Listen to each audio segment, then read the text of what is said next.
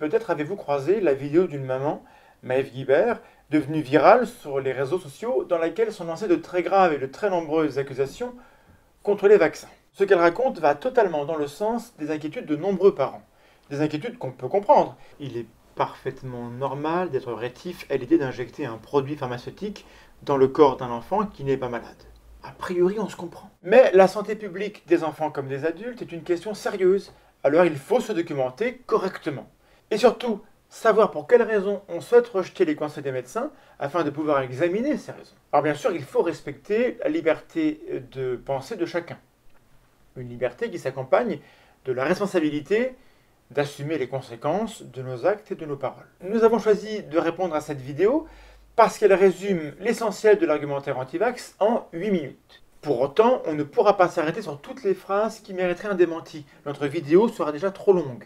Vous trouverez en description un lien vers un article plus complet où des dizaines de liens vous fourniront les sources et les références de tout ce qui sera dit ici.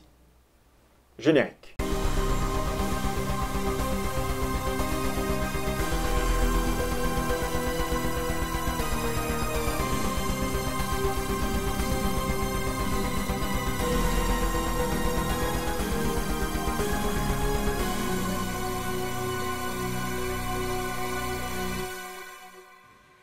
Je ne souhaitais pas faire partie du mouvement anti-vaccination quand j'ai eu mon fils. Je savais que la vaccination comportait des risques et je souhaitais simplement attendre les deux ans de mon fils avant de le faire vacciner car je considérais qu'il était important qu'il fasse ses premières défenses immunitaires tout seul. Alors, là, déjà, on a une sorte d'appel à la nature. Les défenses que l'enfant fabrique tout seul, sans aide extérieure, seraient préférables à celles produites grâce à la vaccination. On n'a aucune forme d'explication à cela, aucune forme de justification. Et en fait, ce serait dur parce que c'est juste faux. C'est juste complètement faux. Et surtout, c'est une très mauvaise idée, en fait, euh, de ne pas aider le système immunitaire d'un enfant dès que possible, parce qu'il n'est pas prêt à se protéger contre toutes les maladies. Les anticorps de sa mère le protègent contre certaines maladies, pas toutes, et pendant un certain temps. C'est pourquoi il est au contraire important euh, de le vacciner pour éviter bah, bêtement, hein, qu'il meure d'une maladie évitable.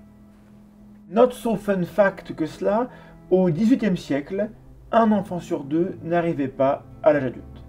Je l'ai inscrit à la crèche par nécessité parce que je reprenais mes études. Ils ont mis quelques mois à réaliser que mon fils n'était pas vacciné. J'ai été convoquée et le médecin de la crèche m'a alors sommé de faire les vaccins à mon fils en me laissant un délai de 5 jours. Voilà. Alors heureusement, Hein, heureusement que le médecin euh, a ce type d'exigence, parce que c'est le rôle des établissements d'assurer la sécurité de tous les enfants. Un enfant non vacciné euh, a des risques accrus de contracter une maladie infectieuse et de la transmettre aux autres enfants. Alors d'abord les enfants trop jeunes pour être vaccinés, et puis les enfants qui, pour des raisons médicales, ne peuvent pas être vaccinés. On a donc tous intérêt, collectivement et individuellement, à ce que l'ensemble des enfants qui peuvent être vaccinés le soient le plus tôt possible.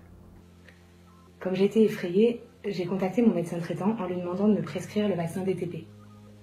Il a essayé, essayé, essayé, essayé encore, et comme il semblait ne rien comprendre, il m'a dit qu'il ne trouvait pas ce vaccin.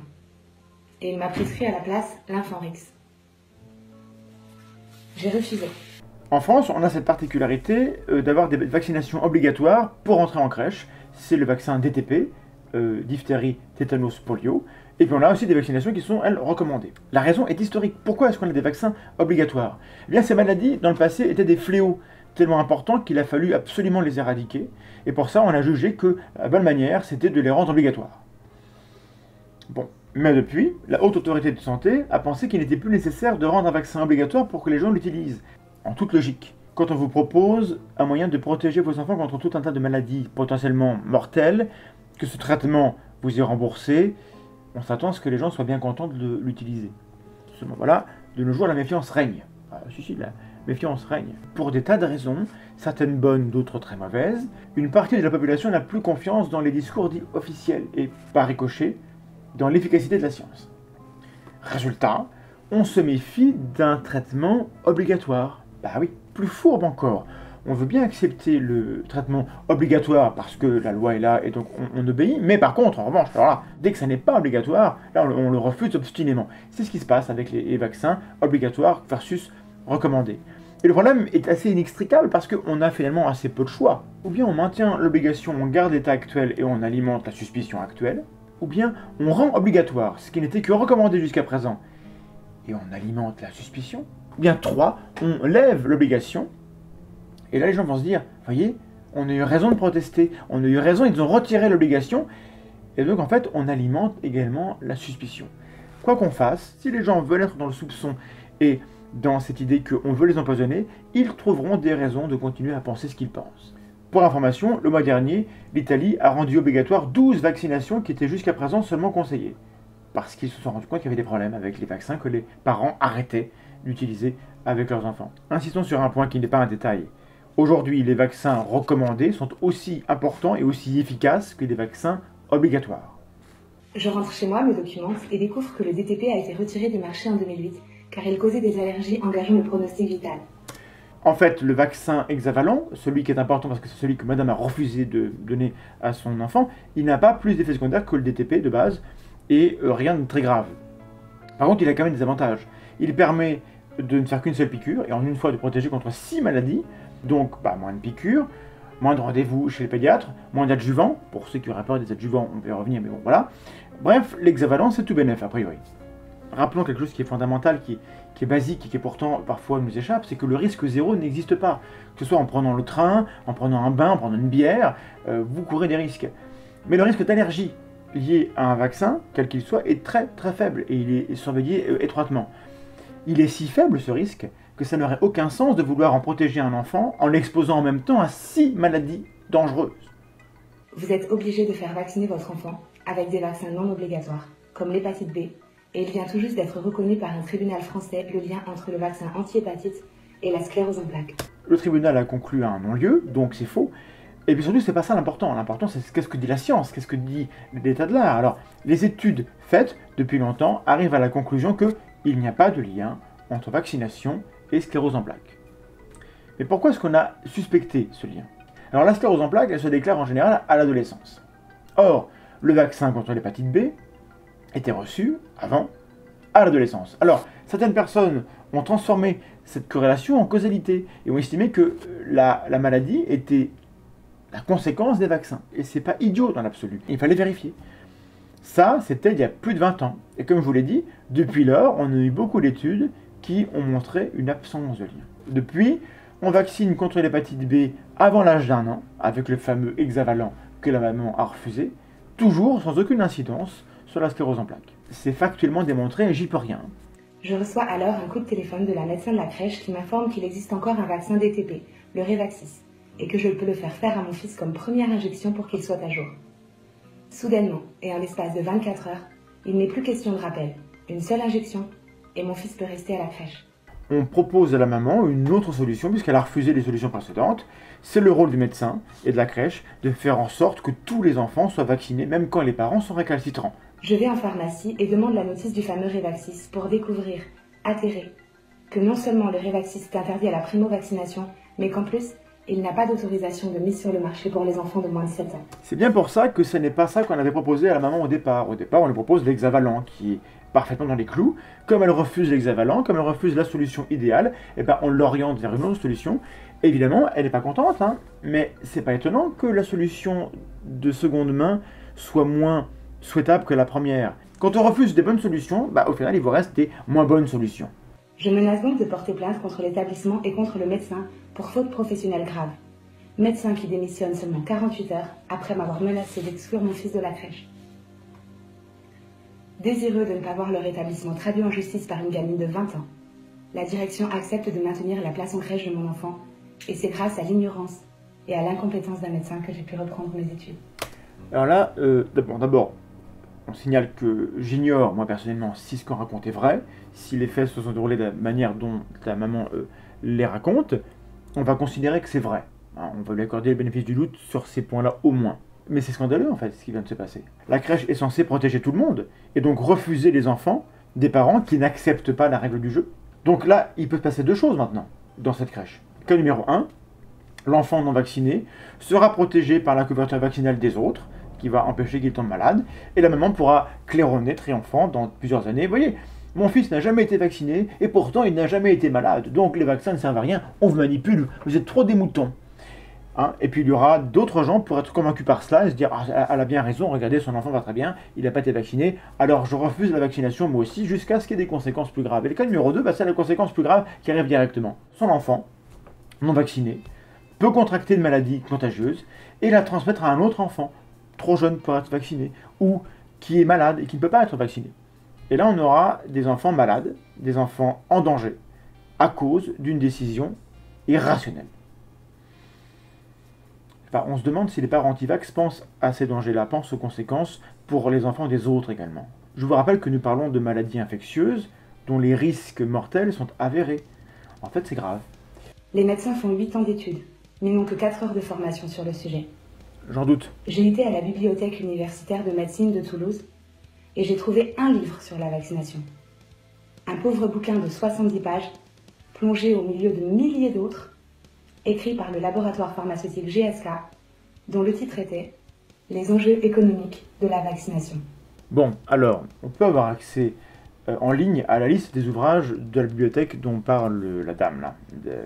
Donc vous allez sur internet, vous cherchez la bibliothèque, vous tapez le mot vaccination et vous regardez ce qui sort. Et lorsqu'on le fait, on ne trouve pas une, pas deux, on trouve 97 références. Les étudiants en médecine ont accès à l'ensemble des bibliothèques de Toulouse. Et donc dans lesquelles ils vont trouver d'autres références sur la vaccination. Ils pourront se documenter ailleurs, ils peuvent également se documenter sur Internet, où il y a des sites, euh, etc. On constate que cette dame n'a trouvé qu'un seul livre, alors que nous, on en trouve 97 ça nous éclaire sur sa capacité ou sa volonté de se documenter correctement sur ce qu'elle raconte. Autre hypothèse, elle nous baratine. Il ne faut jamais soupçonner que les personnes avec qui vous n'êtes pas d'accord sont dans le mensonge ou dans la manipulation. Donc on va considérer qu'elle est juste incompétente pour se documenter. C'est déjà dommage pour une vidéo à ce point virale, à ce point partagée et à ce point cru par les gens euh, de bonne foi qui sont inquiets par ce qu'elle nous raconte. Voilà. Il existe un grand nombre de médecins qui ne remettent pas la vaccination en question. Ce n'est pas forcément de la mauvaise foi, mais simplement parce que c'est une pratique en laquelle ils croient. La pratique des médecins évolue au fil du temps à la lumière des travaux des chercheurs. C'est un petit peu leur travail, leur métier, de savoir quels soins, quelles pratiques sont plus utiles, sont plus importantes, sont plus pertinentes que d'autres. Et c'est un peu la différence entre l'expertise, la connaissance et la croyance. Et donc je vous soumets l'hypothèse que cette maman, là, avec son témoignage, est davantage dans la croyance que l'ensemble du corps médical qui aboutit à des consensus scientifiques. C'est l'hypothèse que moi je juge la plus crédible. Cependant, des études montrent que le plus gros pourcentage d'enfants non vaccinés se trouve être les enfants de médecins et de pharmaciens.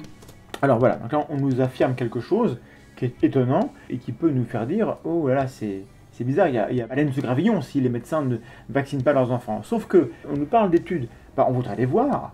C'est important de fournir les études, de fournir les références, des choses quand on prétend qu'on s'appuie sur des études. Alors moi, je vais vous dire, j'affirme le contraire, que les médecins, les pharmaciens et, de manière générale, tous les gens qui travaillent dans le monde de la santé se vaccinent et vaccinent leurs enfants au moins autant que les autres. La croyance populaire nous dit que les vaccins éradiquent les épidémies.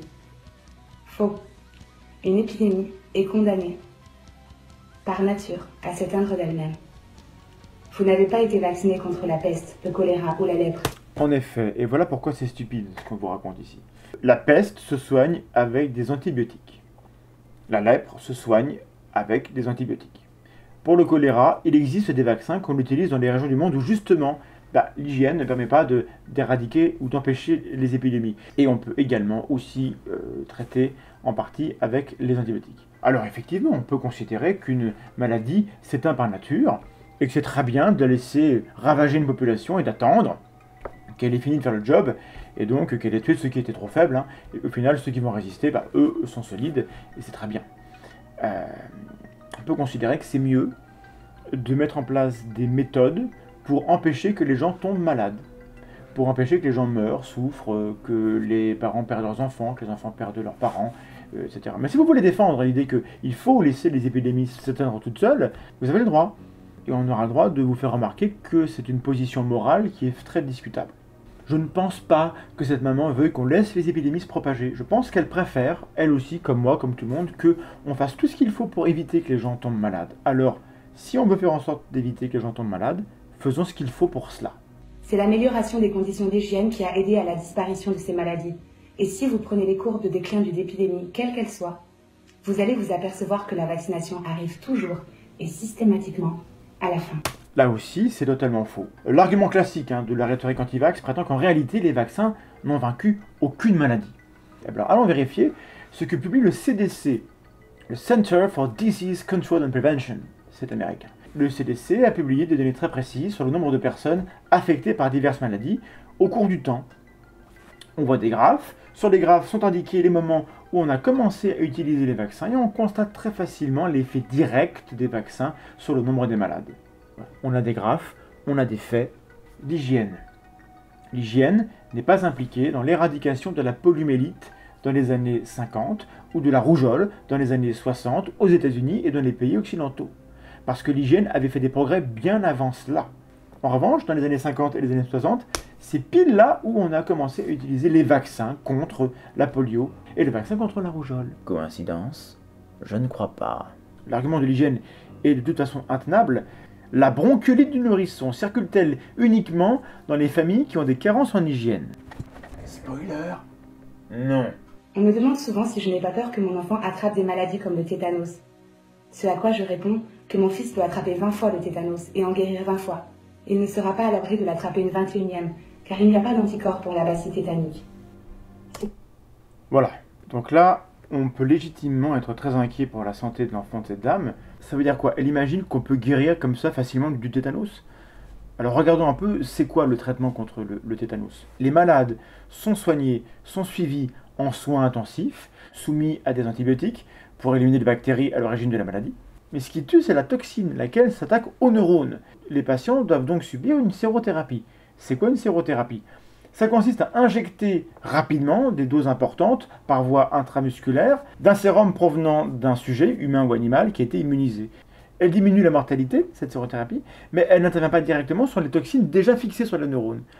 Et à cause de ça, le taux de mortalité est d'un tiers en France et dans les pays occidentaux. En fonction de la gravité de leur état, les malades reçoivent du diazépam, des barbituriques, de la chlorpromazine, du dantrolène, du baclofène, des anticoagulants et, pour faire joli, une trachéotomie. Une sinécure, donc pour l'enfant de cette maman, euh, qui dit que son enfant pourrait le subir 20 fois. Mais le pire, voyez-vous, c'est que l'infection ne confère pas l'immunité. Le seul moyen d'être efficacement protégé, immunisé, c'est de recevoir un vaccin qui induit une production d'anticorps contre la toxine. Il n'y a pas un seul bon argument pour ne pas vacciner votre enfant contre le tétanos. L'inefficacité de la vaccination. Prenez toutes les maladies contre lesquelles il existe un vaccin et regardez quel est le pourcentage de gens vaccinés et de gens non vaccinés qui l'attrapent. À peu de choses près, d'un côté comme d'un autre, vous trouverez le même pourcentage de gens vaccinés ou non qui contractent cette maladie. Demandez autour de vous et vous trouverez rapidement quelqu'un qui vous dira qu'il a été vacciné contre la grippe et qu'il a attrapé la grippe. Anecdote. La grippe. Vacciné contre la varicelle et qui a attrapé la varicelle. Anecdote est plus rare. Vacciné contre la rubéole ou la rougeole et qui l'a attrapé, etc. Oui, donc tout ça, ce sont des anecdotes. On sait bien en science, et comme dans- d'ailleurs dans, dans le monde juridique, que le témoignage personnel est la pire des preuves. C'est la moins efficace, c'est la moins fiable. Pourtant, c'est à cela qu'elle elle vous fait référence, parce qu'elle n'a pas, sans doute, les références scientifiques. Nous, ce qui nous pourrait nous convaincre que c'est vrai, ce serait d'avoir des études qui nous montrent qu'en effet, le vaccin ne protège pas mieux. Or, c'est pas ce qu'on observe. Le vaccin contre la grippe, il est préparé tous les ans en suivant les recommandations de l'OMS au sujet des virus les plus susceptibles de circuler durant l'hiver. Parce que la grippe est imprévisible, l'efficacité du vaccin bah, varie d'une année sur l'autre. C'est assez logique, c'est assez attendu. Donc, oui, il peut arriver que quelqu'un euh, euh, qui est vacciné tombe malade. Auquel cas, il y, a, deux possibilités. Soit il s'agit en effet de la grippe, et c'est pas de chance, la personne n'a pas répondu au vaccin, ou l'efficacité du vaccin n'est pas très efficace cette année-là, ou bien, eh bien, il a une infection éventuellement virale, une virose, mais qui n'est pas la grippe. Et donc, forcément, le vaccin ne peut pas protéger contre d'autres virus que celui contre lequel il est orienté. Parce qu'un un vaccin, c'est spécifique. Ça ne protège que contre un type d'organisme, le, le virus, la souche en particulier, qui sert à fournir ce vaccin. Si vous pensez que le fait que le vaccin contre la grippe ne protège pas 100% des gens est un argument contre la vaccination, alors cessez de boucler votre ceinture de sécurité dans la voiture, parce que la ceinture ne protège pas 100% des gens qui ont un accident. On appelle ça le sophisme de la solution parfaite. C'est un argument moisi qui dit que puisque votre solution ne répond pas à tous les cas de figure, alors elle est nulle et je n'en veux pas. Dans la vie de tous les jours, on est beaucoup plus raisonnable que ça et on accepte une solution qui ne résout que 80% des problèmes. Allez, on la prend quand même parce que c'est mieux que rien. Mais la grippe est un cas particulier, en fait. D'autres vaccins ont une efficacité qui est beaucoup plus grande. Le vaccin contre la varicelle offre une protection à hauteur de 95%. Le vaccin contre la rougeole est efficace à près de 100% après deux doses. Idem pour le vaccin contre la rubéole. Les chiffres que je vous donne sont vérifiables dans l'article sur le blog La menace théoriste qui est indiqué dans la description. En attendant, les laboratoires pharmaceutiques sont passés de 6 milliards de chiffre d'affaires en 2005 à 30 milliards en 2012. Et ça prouve quoi? Est-ce qu'une technologie qui rapporte de l'argent est forcément néfaste Est-ce qu'une technologie qui sauve des vies doit forcément euh, nous coûter de l'argent et être euh, en, en déficit? Je ne sais pas. C'est l'idée implicite, mais au lieu de l'insinuer, il faudrait le prouver. Faites vacciner votre enfant. Détruisez ses défenses immunitaires et vous en faites un client à vie du système de santé. Donc là, on est, pardon, hein, dans la rhétorique et la logique de la théorie du complot. On veut vous faire croire que les médecins détruisent volontairement, sciemment, les défenses immunitaires de vos enfants. Cet argument est tellement pourri qu'on peut le retourner complètement et lui donner un sens différent. Regardez, vacciner un nouveau-né, ça permet d'éviter qu'il attrape une maladie mortelle et qu'il ne sache pas s'en défendre. Ça l'empêche de tomber malade et de devenir un client du système de santé. Vous voyez, c'est simple. hein. On assiste aujourd'hui à l'émergence de maladies qui sont devenues légion et étaient rarissimes il y a encore 30 ans. Parkinson, Alzheimer, cancer, sclérose en plaques, boom de l'autisme qui a fait un bond de 210% aux États-Unis avec l'apparition du vaccin R. Alors il y a beaucoup de choses, beaucoup de choses, fausses, euh, illusoires. On constate à l'heure actuelle dans la société une augmentation du nombre des maladies dégénératives. Si on compare maintenant à ce qui se passait il y a 100 ans, on a beaucoup plus d'Alzheimer, on a plus de Parkinson, etc. Ça veut dire quoi quand on a dans une population beaucoup de maladies dégénératives? Quand l'espérance de vie augmente, les gens vivent plus vieux, ils attrapent des maladies de vieux. C'est logique, on n'avait pas Alzheimer quand on mourait à 40 ans.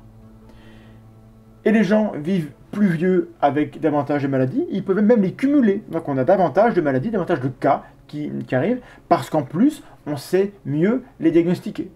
Quant à l'autisme, là, euh, attention. Boom de l'autisme qui a fait un bond de 210% aux États-Unis avec l'apparition du vaccin ROR à cause du mercure et de l'aluminium qui se stockent au choix dans les muscles ou dans le système cérébral. Alors non, non, non, non, non Non. Le lien entre vaccination et autisme est le résultat des travaux d'Andrew Wakefield. On a démontré qu'il avait truqué ses résultats, qu'il avait menti, il a été radié de l'ordre des médecins, et maintenant il vit de la vente de, livres anti-vax, euh, de conférences anti-vax qui donnent à travers le monde, et bientôt d'un film anti-vax. Donc c'est pire que de la mauvaise science, c'est du mensonge. Et un mensonge aux conséquences potentiellement criminelles. On a des articles scientifiques publiés dans des revues qui disent explicitement que ce monsieur s'est rendu coupable de fraude. Allez voir les références qui sont données dans, dans l'article. On en a plusieurs. Et la maman anti-vax ici présente, malheureusement, pour des raisons qui m'échappent, ne s'est pas informée sur le fait qu'il existe un consensus scientifique sur l'absence de lien entre autisme et vaccination. Ce lien n'existe pas. C'est important. On vous le dit, on vous donne les sources à les vérifier. Pour comprendre l'affaire Wakefield en français, consultez l'article de de la FIS qui a fait un sujet euh, là-dessus. Quand même, pour mettre un peu les choses à leur place, on est à un niveau de négationnisme scientifique qui est le même que celui des climato-sceptiques. Si vous vous moquez des gens qui ne croient pas, entre guillemets, au réchauffement climatique, aux gens qui ne croient pas que la Terre est ronde, par exemple, bah dites-vous que le niveau rhétorique des gens qui sont contre la vaccination pour ces raisons-là est du même ordre. Les produits contenant de l'aluminium et du mercure ont été retirés des commerces car leur dangerosité a fait scandale. Alors, la phrase ne veut rien dire en soi. On, ne sait pas de quel produit on parle, on ne sait pas de quel marché on parle. Euh, euh, comme d'habitude, on ne sait pas d'où vient l'information, quelle est sa qualité, quelle est sa pertinence. Pardon. Alors, le mercure et l'aluminium ne sont toxiques que sous certaines conditions. Il faut d'abord qu'ils soient biodisponibles, qu'ils rentrent dans l'organisme. Il faut qu'ils dépassent une certaine dose. La dose est importante quand même. Pour mémoire, l'eau à haute dose tue 100% des gens qui meurent noyés. Plus généralement, tout produit chimique, à trop forte dose et parfois à trop faible dose, présente des dangers pour la santé. Se focaliser sur le mercure ou sur l'aluminium comme s'ils étaient dangereux par nature, ça n'a aucun sens. Disons, pour finir, un mot des adjuvants. Leur rôle est d'activer la réaction immunitaire, et donc si on les retire du vaccin, bien souvent le vaccin ne fonctionne plus. Aucun des produits chimiques contenus dans les vaccins, adjuvants ou autres, n'est toxique à la dose à laquelle on l'injecte. Aucun. Heureusement, parce que quand même, ce serait, pour information, plus aucun vaccin administré aux enfants en France ne contient du mercure. La vidéo de cette maman anti-vax est très symptomatique. Il s'agit d'un témoignage personnel. Les témoignages personnels sont les preuves les moins fiables en science, en raison des nombreux biais cognitifs qui nous affectent tous. On entend beaucoup d'accusations, beaucoup d'allégations, on a droit à un millefeuille argumentatif, mais constatez qu'on n'a aucune preuve. En définitive, le discours de cette maman anti-vax est essentiellement axé sur la peur sur la peur de ce qui peut arriver à la santé des gens que nous aimons. Très convaincante, cette stratégie ne fonctionne que si l'on peut faire oublier les véritables risques infectieux qui nous menacent tous et contre lesquels on a inventé les vaccins. Avec un peu de recul, on constate que la logique et la rhétorique déployées par les antivax est exactement celle qu'on retrouve chez les conspirationnistes. C'est très efficace, et il n'est pas surprenant que de nombreux parents sincèrement soucieux de la sécurité de leurs enfants y prêtent oreille. Si vous êtes parent et pas au courant de l'état des connaissances scientifiques sur le sujet, alors vous aurez des soupçons en écoutant Madame Guibert. Rien de plus normal. Les antivax ne sont pas des imbéciles. Ils sont mal informés. Mais une fois que vous avez ces soupçons, c'est à vous de trouver à quelle source accorder votre confiance. Sur des sujets pareils, le doute n'est pas une fin en soi. Vous pouvez donc choisir de croire que l'on empoisonne sciemment les enfants, sur la foi de témoignages qui ont la même structure que ceux qui nient que l'homme a marché sur la Lune, le réchauffement climatique, ou la théorie de l'évolution, ou bien vous contemplez les preuves scientifiques qui disent depuis des années que les vaccins ont sauvé et peuvent continuer de sauver des dizaines de millions de vies en présentant un risque très sévèrement surveillé et très faible d'effets secondaires. Personne ne peut vous forcer à croire l'un ou l'autre. Exercez votre esprit critique, documentez-vous et questionnez ceux qui vous disent qu'ils savent ce qu'il faut penser. Comment savent-ils qu'ils savent ce qu'ils vous disent qu'ils savent? Sont-ils fiables? Quelle démarche permet de garantir qu'on évite un maximum d'erreurs? À vous de voir, soyez prudents.